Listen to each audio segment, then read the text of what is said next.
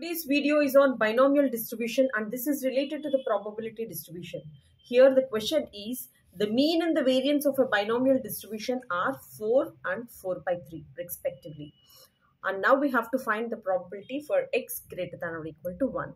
Here when you observe what is the mean value. So mean is given as 4 and variance is given as 4 by 3 and we have to find out the probability of x greater than or equal to 0 see the solution here. First of all, what is given? The mean of a binomial distribution.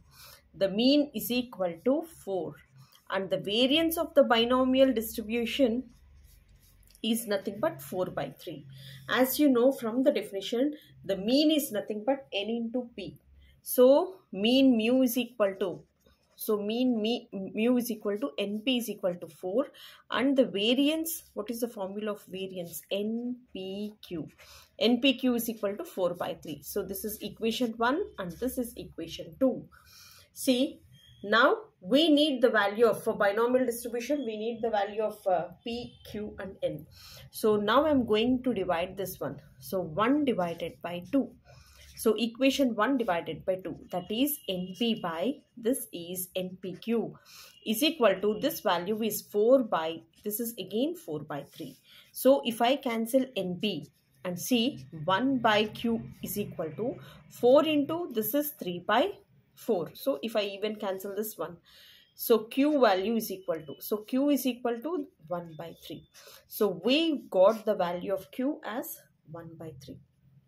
And next, we know that the total probability that is P plus Q is equal to 1. So, after getting Q value, so it's very easy to get P value. That is, P plus 1 by 3 is equal to 1. P is equal to, this is 1 minus 1 by 3. And so, P is equal to, so if I take an LCM as 3, then this will be 3 minus 1, 2 by 3. So this is uh, p value and uh, we have see here mean is equal to np. np is equal to 4. So we have mean mu is equal to the mean is given as np is equal to 4. So what is the value of p here? So if I substitute the value of p I'll be getting the value of n is equal to 4.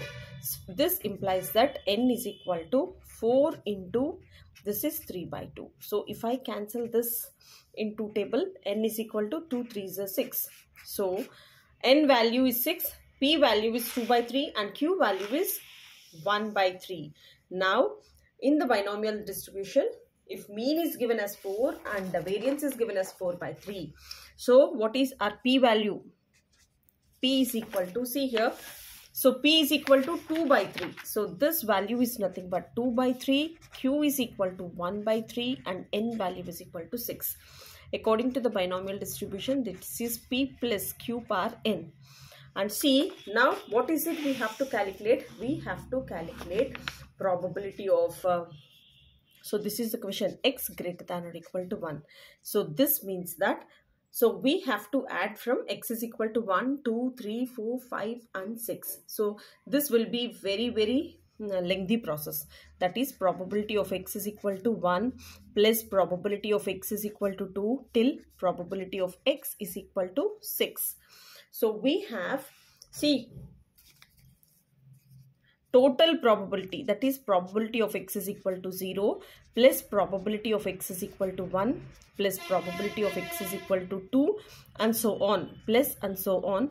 Probability of x is equal to 6 so n is equal to 6 total probability is always equal to 1 so i need the value from 1 till 6 instead of getting this value i'll i'll directly subtract 1 minus probability of x is equal to 0 so this means that probability of x greater than or equal to 1 can otherwise be calculated as 1 minus this is probability of x is equal to 0 instead of calculating from this till this so i'm going to calculate 1 minus probability of x is equal to 0.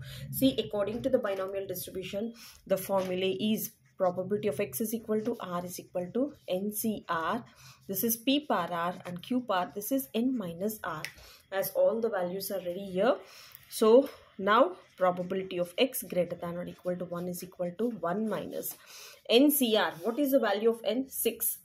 What is the value of R? 0. That is 6 is 0. What is our P value? P is equal to 2 by 3. 2 by 3 power r and q is equal to 1 by 3. So this is 1 by 3 power n minus r that is 6 minus 0. So the value here is 1 minus 6 e naught the value 1 anything to the power of 0 1 and this is 1 by 3 power 6 this value is 1 by 3 power 6 so which can be written as 1 minus 1 by 3 power 6 the value here is 0 0.9986 therefore the probability of x greater than or equal to 1 is equal to 0 0.9986 so this is how we have to calculate and thank you so much for watching. So see here when mean is given and variance is given, please remember that uh, mean mu is equal to np and the variance is equal to npq. So after dividing, so I got the value of q and after getting q, I calculated the value of p and as well n is equal to 6. So here we have to calculate probability of x greater than or equal to 1. So from x is equal to 1 till 6 we have to calculate. So instead of calculating this whole thing, I can subtract probability of x is equal to 0 from 1 and this is the final answer. Thank you so much.